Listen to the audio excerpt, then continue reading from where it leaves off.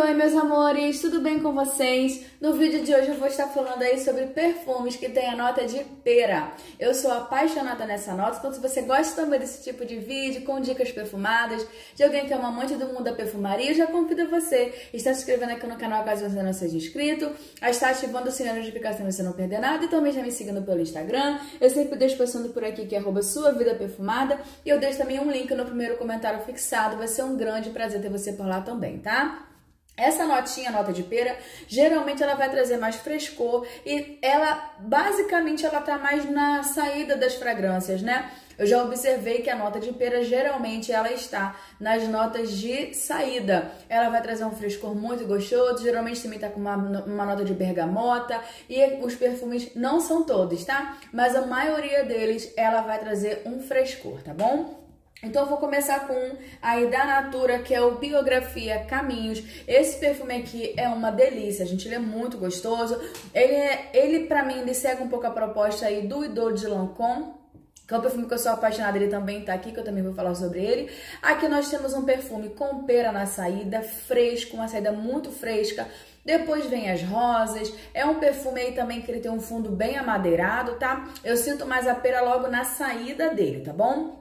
Ele tem um fundo mais amadeirado, ele tem patchouli, ele também tem preprioca, tá? É um perfume muito, muito, muito gostoso. Por isso que eu acho que ele parece mais ao Idô, mais na saída, porque eu sinto nele o mesmo frescor que eu sinto no Idô, tá bom? Depois a base dele já vai ficando um pouco mais amadeirada, principalmente por conta da preprioca, tá? Eu tenho um vídeo que eu falo sobre a biografia Caminhos, eu deixo pra vocês aí no card, caso vocês ainda não tenham assistido, tá bom? É um perfumão aí da Natura. Eu sou apaixonada nesse perfume aqui. Muito chique, muito elegante, tá? Um outro também da Natura que tem a nota aí de pera é o Essencial Elixir. Esse aqui, inclusive, o, o amadeirado dele eu sinto na base do Biografia Caminhos, tá? Aqui o Essencial Elixir, nós vamos ter também um perfume com uma saída mais fresca, com pera, é, mas ele logo evolui e fica um perfume bem amadeirado, bem amadeirado mesmo. Ele também tem preprioca, ele também tem patchouli, um perfume chipre, tá? É aquele perfume zero açúcar. O Essencial Elixir é um perfume zero açúcar, mas é muito chique, muito elegante, na minha opinião. É um perfume que eu sou simplesmente, gente, apaixonada nele, tá? Mas não é um perfume que você usa em qualquer ocasião, ele pede realmente uma ocasião especial aí, né? Se eu for colocar ocasiões aqui para esses perfumes, esse aqui ele pede uma ocasião aí bem especial, tá? O Biografia Caminhos, até para trabalhar no dia a dia, dá para usar com toda certeza, tá bom? Agora um outro aí que é um perfume com pera também, que já vem uma proposta diferente, é o Dream Viagem Encantada. Esse aqui no caso é um body splash, né, porque tem uma concentração menor de essências, então ele é um body splash, é de um boticário.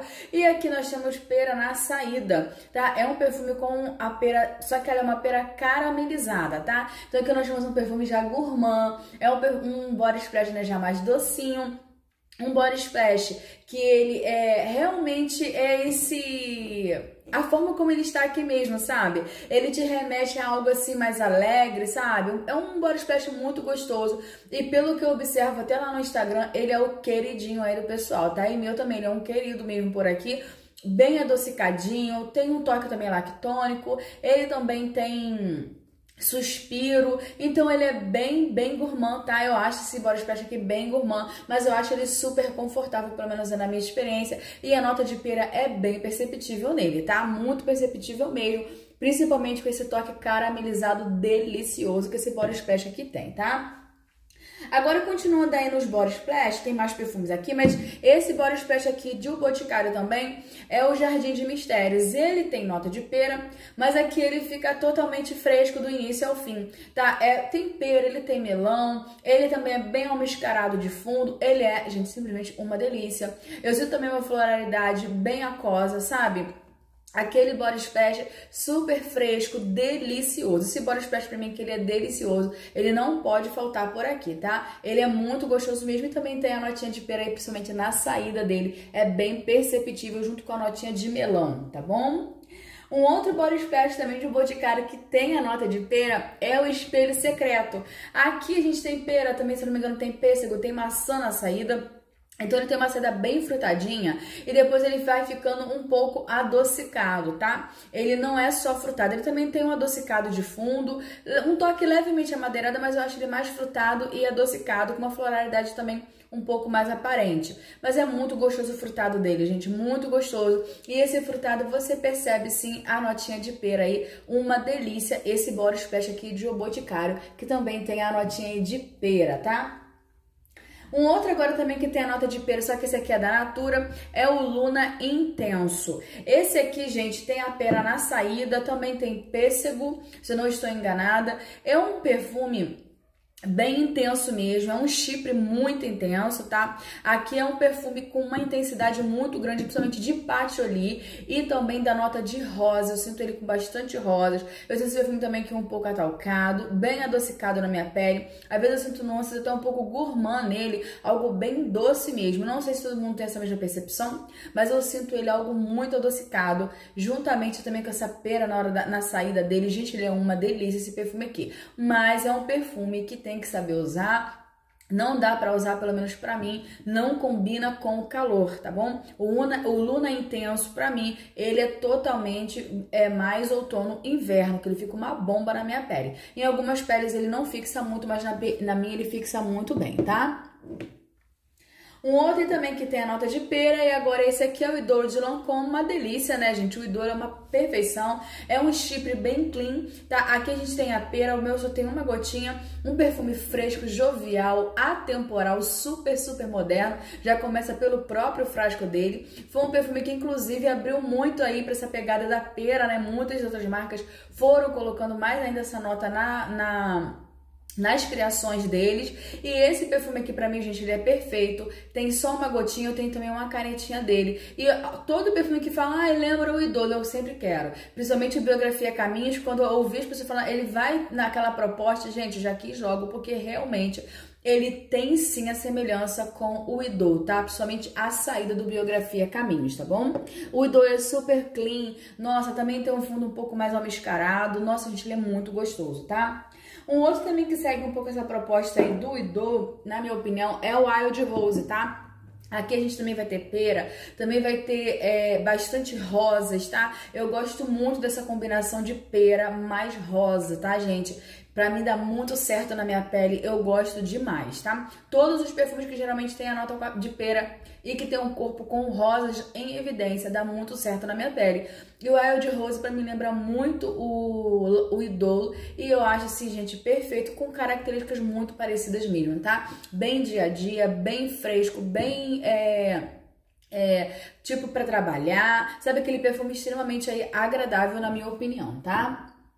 Um outro também que serve um pouco a proposta do Idol também, que tem pera, é esse aqui, é o Chique Cherry da Eudora. Esse aqui tá no finalzinho, meu esposo que usa. Aqui, eu acho que ele tem uma pegadinha, algo que lembra o Idol, mas levemente a saída, tá, gente? Por conta da pera realmente que também tem aqui no Chique Cherry. Então, essa nota de, da pera do Chique Cherry também foi trabalhada parecido com o do Idol, tá? Só que aqui ele tem uma folha de violeta logo na saída que traz para ele uma nuance um pouquinho verde e bem atalcadinho. Então é um perfume que para mim ele é bem atalcado, tá? Muito atalcado.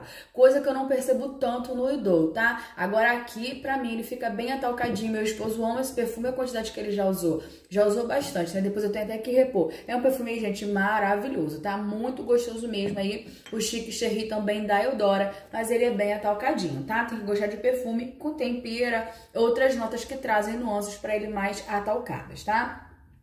Um outro também que eu sou apaixonada, que tem pera, é o Perigerânio da Mahogany. Gente, esse perfume aqui pra mim ele é maravilhoso. Ele segue a proposta do English Infreesia da John Malone. Hum, todo mundo fala isso, tá? Que ele segue muito essa proposta. E aqui tem bastante pera, tem frésia, tem rosa. É, tem o gerânio, né, que traz nuances um pouco mais verdes e amargas para ele, mas é muito fresco, gente. A saída dele é muito fresca, também que ele tem bergamota na saída e sai logo com essa pera com bergamota, se eu não estou enganada, tá? Mas a pera é logo na saída dele, gente, é muito gostoso esse perfume aqui. Muito gostoso. Eu também sinto algo, um leve toque um pouco é, especiado nele, muito gostoso. Ai, gente, ele é muito gostoso, na minha opinião. Esse pera e gerânio aqui da Mahogany, ele tem um toque levemente também adocicado, levemente adocicado, tá? E também um toque um pouquinho amargo e verde, bem provável por conta aí do gerânio, tá? É uma delícia esse perfume aqui. Com certeza eu não fico sem esse perfume da Mahogany, ele é maravilhoso. Um outro da Mahogany também que tem pera é uma Tarde na Toscana, que é o amor da minha vida. Eu sempre falo desse perfume aqui pra vocês. É um perfume que eu já sequei o frasco dele, né, aí recentemente. E eu peguei esse outro aqui, gente, porque eu sou apaixonada, tá? Ele segue a proposta do Narciso Rodrigues Forran, mas na saída Uma Tarde na Toscana também tem a nota de pera com bergamota. Gente que sai fresco, fresco, fresco, muito fresco. E ele também é muito almiscarado, com uma rosa também deliciosa, gente. Esse perfume aqui, pra mim, é um dos melhores que eu tenho aqui na minha coleção, tá? Com certeza é uma tarde na Toscana. Eu sou apaixonada nesse perfume aqui, o frescor que esse perfume me traz, eu, eu, me sinto chique e elegante quando eu coloco ele. E a nota de pera, eu também sinto isso nas fragrâncias, sabe? Ela traz um toque a, mais aberto na saída mesmo das fragrâncias e também traz um, um, toque de elegância, né? E uma tarde na Toscana não é diferente, eu sinto um toque muito elegante nesse perfume aqui, principalmente a saída dele, tá? E depois ele vai ficando com uma rosa almiscarada, gente, ele é maravilhoso, na minha opinião. Não fico sem uma tarde na Toscana, ele também tem um fundo amadeirado, tá? Uma delícia esse perfume aqui, super pegada banho tomado, mais dia a dia para trabalhar. Nossa, gente, ele é maravilhoso. O outro também que tempera é o, famoso, é o famosinho. Quem, gente? O La Vie Belle de Lancôme. Nossa, esse perfume aqui é famoso, né? Esse meu aqui é de 100ml, eu usei muito, muito, muito, muito. Eu acabei enjoando um pouco dele, tá? É um perfume delicioso. Ele tempera, se não me engano, também que ele tem cassis na saída. Então é um perfume que ele sai até um pouquinho mais suculento, é, suculento, né, desde a saída dele. E é um perfume também bem atalcado, né, gente? Aqui a Iris reina nesse perfume, bem atalcado. Ele também tem patchouli de fundo, mas o que eu sinto mais aqui, ele é muito atalcado e muito, muito, muito adocicado. Baunilha, pralinê, então ele é muito, muito, muito doce de fundo, tá? O, o La Vie Belle, ele já é, na verdade, quando já borrifa, eu já acho esse perfume doce, tá? Já acho ele já bem suculento, gourmand, aquela pegada bem gourmand, né? É um perfume que fez sucesso, não foi à toa, foi muito, muito, muito, muito inspirado, muito copiado, né? Porque é um perfume realmente que caiu no gosto do pessoal até hoje, né, gente? Às vezes a gente vai sentir uma fragrância quando você vai perceber, poxa, ela tem um pezinho no La Vie Belle, porque é um perfume realmente muito bem construído, pelo menos é na minha opinião, não falta aqui pra mim, tá? Eu amo o La Belle e eu acho um perfume super bem construído também, que tem aí a nota de pera logo na saída, tá? Um outro também que tem a notinha de pera que eu sou apaixonada é o Skin do Paris de Jean Paul Gaultier. Esse aqui tem uma pera, ele tem uma seda muito fresca.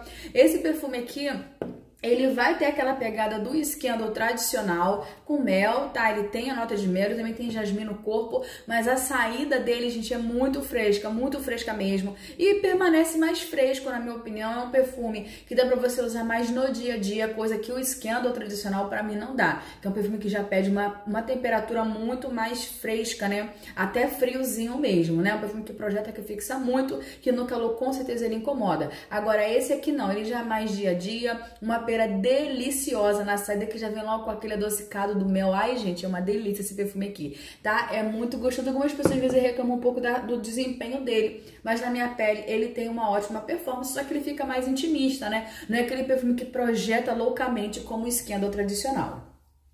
Um outro também que tem a nota de pera que eu sou apaixonada é o English Blossom aí da Sugar Garota, muito gostoso. Ele tem uma inspiração no perfume de John Malone, que inclusive o perigerânio também tem, né? Eu acho, não, a marca não fala, mas gente, é muito difícil não ser, porque muitas pessoas falam que ele parece bastante com o perfume de John Malone, o English Spirit Freesia, né, que pelo menos aí as pessoas falam que parece. E o English Blossom da Sugar Garota tem uma pontinha nesse perfume aqui. Então, bem provável sim que esse aqui também seja aí um perfume que lembra muito esse perfume de John Malone, tá? Esse aqui deixa o garoto muito gostoso, fresco, gente, que cheiro delicioso, bem fresco, uma pera bem fresca mesmo de saída. Ele também tem a notinha de ruibarbo, é que também tem nesse perfume de John Malone. E aqui também tem Frésia. É uma delícia, tá, gente? Ele é muito, muito, muito fresco, tá? É um, um perfume artesanal, pra mim, muito bem construído. Inclusive, pelo que eu vi lá no Shopee, ele tá até esgotado. Muito gostosinho mesmo, super fresco aí pra você usar no dia a dia. Uma delícia. Um outro também é que tem nota de pera é esse aqui, o Label de Jean Paul Gaultier. Esse aqui já é uma pera um pouco diferenciada, né? Você sente ela bem abaunilhada, até com um toque um pouco até caramelizado, logo assim que você borrifa. Não sei se quem tem, se tem essa percepção, só que aqui é um perfume que tem, ele é mais terroso. Ele é um perfume também que tem nuances, é um, um toque um pouco verde, sabe? Eu sinto isso nele, porque ele tem vetiver na, na base, tá? Então não é um perfume bobinho, que é um perfume muito, muito, muito extremamente sensual. Eu até acho um pouco Viagem Encantada com uma pegada um pouco dele, mas é mais por conta da pera, tá, gente? Porque esse aqui evolui de uma forma bem mais adulta, é um perfume muito, muito mais sensual, tá? É um perfumão, tá, gente? O Labelle de Gaultier é um perfumão, fixa muito, projeta muito, que nota de pera deliciosa, que tem esse perfume aqui, tá? Muito gostoso, mas só que ele não é fresco. Esse aqui já é um perfume mais encorpado, tá bom? É um perfume bem mais encorpado. O outro também que tem nota de pera para estar finalizando é esse aqui, eu não sei se pronuncia assim, tá? Mas eu acho que é Irresistible, da Givenchy, tá bom? Esse aqui é um perfume que até algumas pessoas falam que ele lembra um pouco o Idol. Eu não acho ele parecido ao Idol não, tá? Aqui é um perfume que tem íris, então ele fica bem atalcadinho, pelo menos na minha pele. Ele tem uma pera, ele é mais adocicado. Eu não sinto tanto dulçor no Idol como eu sinto aqui. Aqui eu já sinto pera, é adocicado, então também com esse toque bem atalcadinho, tá? O Irresistible da Givenchy. Muito gostoso também, aquele perfume tipo princesa, sabe? Muito assim, muito essa pegada aí, um perfume delicioso, que eu não dava muita bola para ele, mas eu tenho uma miniatura e eu senti, sabia, gente, que eu comecei já a olhar para ele de uma forma um pouco diferente. Quem sabe um dia eu não trago um, um frasco maior aqui para mim, mas esse aqui foi uma miniatura que eu ganhei, tá? Ele também tem a nota de pera bem perceptível, muito, muito, muito gostoso aí, caso você queira conhecer o Irresistible da Givenchy. Eu também até algum inspirado nele, né? Vale a pena você buscar aí, tá? Então, meus amores, são esses perfumes aqui que eu acho maravilhosos aqui da minha coleção. São os melhores que eu tenho aqui, que tem a nota de pera. É claro também que tem outros, até do Boticário também tem perfumes também do Boticário que tem nota de pera, principalmente na saída, tá? Mas eu quis trazer esses aqui pra vocês e trazer mais os splashes da marca, porque eu sou apaixonada nessa linha Dream. E eles, e, e tá muito bem trabalhada a nota de pera nesses três body splashes ali, tá bom, meus amores? Então é isso, me contem também os perfumes que que tem a nota de pera que vocês gostam, que vocês são apaixonados aí, que eu vou amar saber, tá bom? Deixa as dicas aí nos comentários, vamos continuar conversando esse papo por aí, tá? Um beijão, até o próximo vídeo, tchau!